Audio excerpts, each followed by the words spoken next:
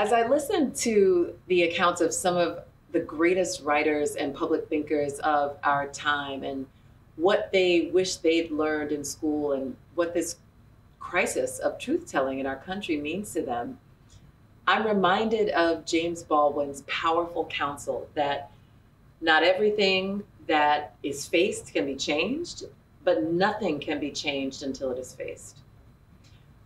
We're at a crossroads.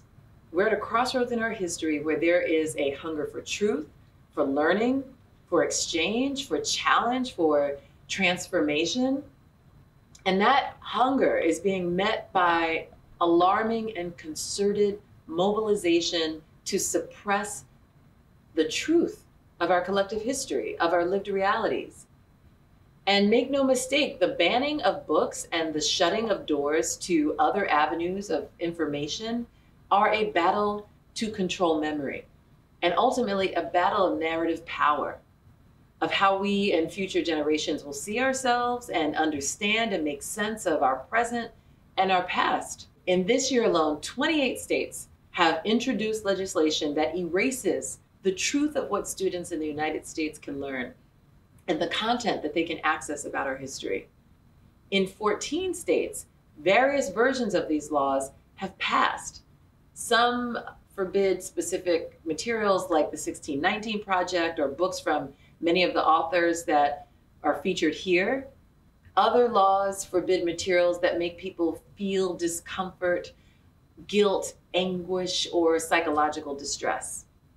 And all legislate ignorance. All are anathema to the principles of truth and learning and freedom of thought and speech and will that are the core of our American aspiration. I'm sitting here uh, at the desk of Thurgood Marshall, the first African American Supreme Court Justice and the founder of the Legal Defense Fund. He worked with a band of luminary lawyers like Charles Hamilton Houston, Constance Baker Motley, Jack Greenberg, and countless others to tell the stories of the most sordid chapters in our history in order to use the law to transform our society, to transform it to one that more closely resembles our constitutional ideals. In our landmark case uh, from 1954, Brown versus Board of Education, we told the story of the devastating impact of subjugation of Black persons in this country and the psychological harm that segregation caused Black and white children, something I wish I'd learned in school.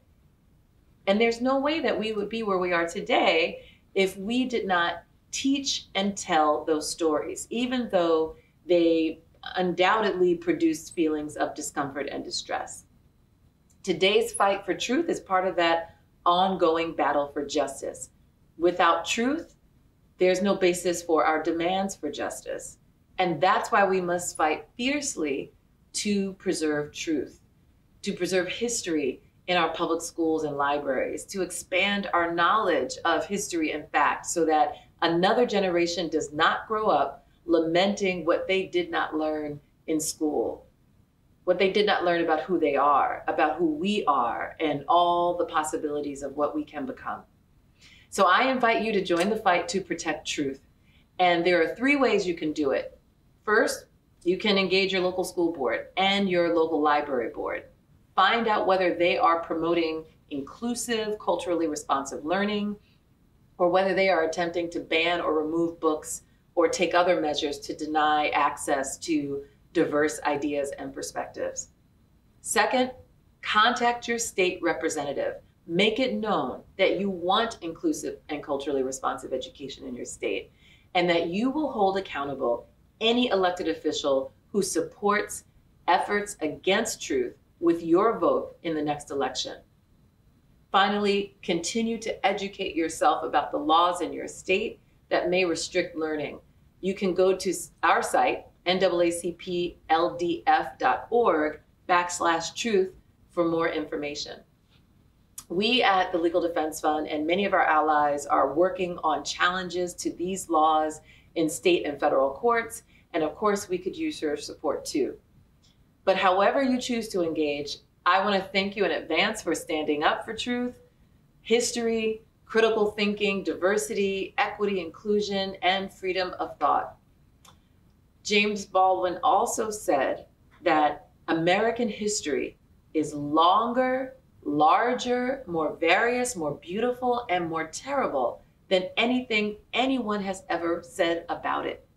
We deserve to know that history in all its complexity through books and other sources of knowledge so that we can continue to chart a better future for us all.